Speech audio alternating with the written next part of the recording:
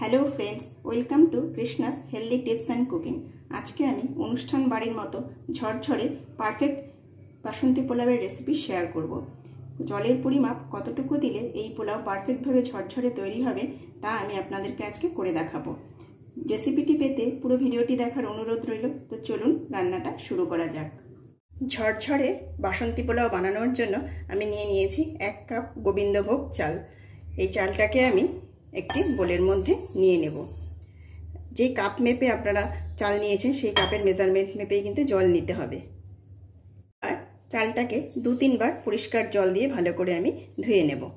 তিন চারবার চালটাকে পরিষ্কার করে ধুয়ে নিয়েছি, এবার এটাকে আধা ঘণ্টার জন্য ভিজিয়ে রাখব। আধা ঘণ্টা পর চালটাকে জল থেকে তুলে নিয়েছি এবং এটাকে দশ থেকে পনেরো মিনিটের জন্য একটা স্ট্রেনারে রেখেছি, জলটা ঝরে যাবার জন্য।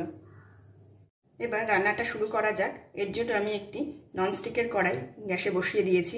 আমি পার্সোনালি রেগুলার রান্নার জন্য ননস্টিকের জিনিস খুব একটা ব্যবহার করি না, তবে পোলাওটা যেহেতু ঝরঝরে হবে, নিচে লেগে যেতে পারে, সে কারণে কিন্তু আমি আজকে একটু ননস্টিকের কড়াইয়ে এটা রান্না করব। কড়াইটা গরম হয়ে গেছে, এতে দিয়ে দেব এক চামচ দেশি গাওয়া ঘি। এই ঘিটা আমি বাড়িতেই বানিয়েছি। এর লিঙ্ক আমি ডিসক্রিপশন বক্সে দিয়ে দেব।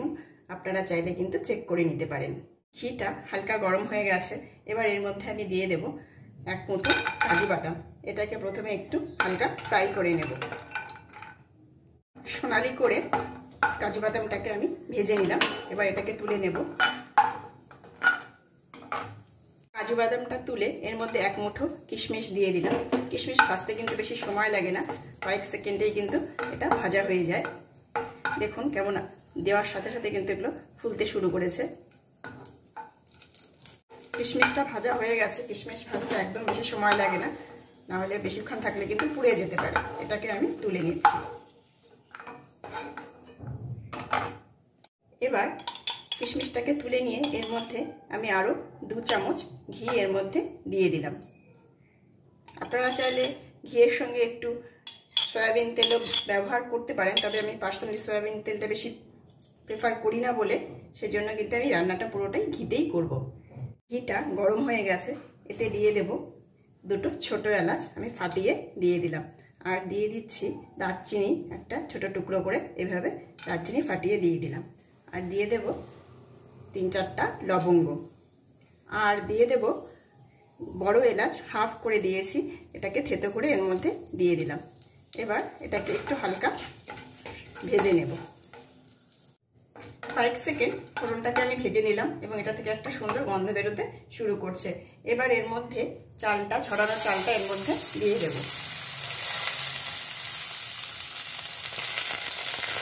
ফ্লেমটাকে হাইতে রেখে চালটাকে একটু ভেজে নিতে হবে। ক্রমাগত নেড়ে ফ্লেমেরটাকে হাইতে রেখে দু তিন মিনিট চালটাকে আমি ভালো করে ভেজে নিলাম। এবার এতে দিয়ে দেব স্বাদ মতো লবণ।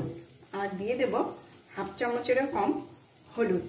যেহেতু এটা বাসন্তী পোলাও, কালারটা একটু হলুদ হবে, তাই এখানে সামান্য হলুদ আমি ব্যবহার করলাম।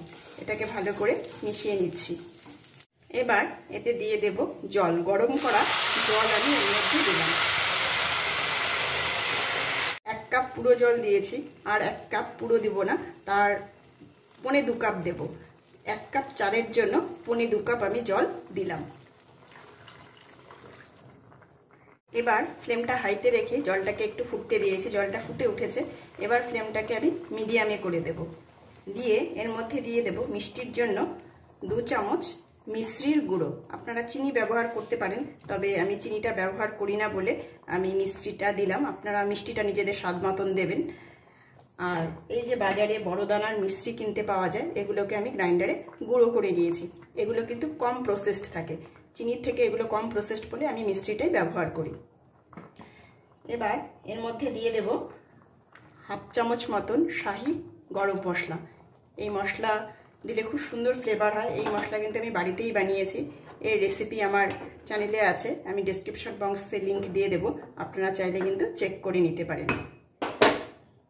এটাকে এবার ঢেকে মিডিয়াম ফ্লেমে দশ মিনিট রান্না হতে দেব।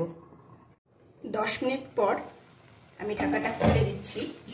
আমি মাঝখানে একবার নেড়ে দিয়েছিলাম। আমার কিন্তু মোটামুটি পোলাও তৈরি হয়ে গেছে। এবার এতে আমি দিয়ে দেব ভেজে রাখা কাজু বাদাম এবং কিশমিশগুলো এতে দিয়ে দিলাম। এটাকে একটু ভালো করে মিশিয়ে নেব। চালটা আমার এইট্টি পার্সেন্ট মতো সেদ্ধ হয়ে গেছে। দেখুন এইট্টি পার্সেন্ট মতো কিন্তু সেদ্ধ হয়ে গেছে।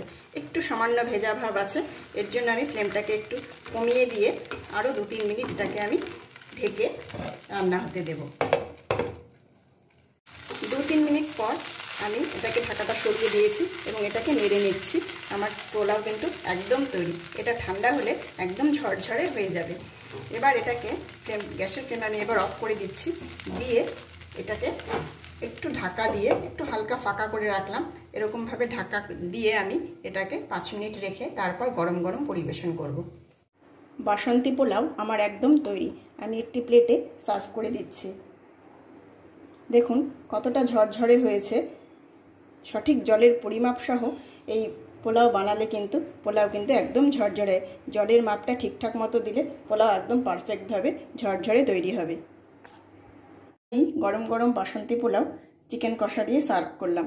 আপনারা আপনাদের পছন্দ মতো যে কোনো সাইড ডিশ দিয়ে কিন্তু এটা পরিবেশন করতে পারেন। তো দেখলেন তো কত সহজে বাসন্তী পোলাও ঝরঝরেভাবে তৈরি করা যায়। আপনারাও বাড়িতে বানান এবং কেমন হলো তা আমাকে জানাবেন। আর রেসিপি ভালো লাগলে লাইক শেয়ার ও কমেন্ট করতে ভুলবেন না। আর আমার পরবর্তী ভিডিওর নোটিফিকেশন সবার আগে পেতে চ্যানেলটি সাবস্ক্রাইব করে পাশে থাকা বেল আইকনটি প্রেস করার অনুরোধ রইল। সবাই ভালো থাকবেন। ভিডিওটি পুরো দেখার জন্য সকলকে অসংখ্য ধন্যবাদ।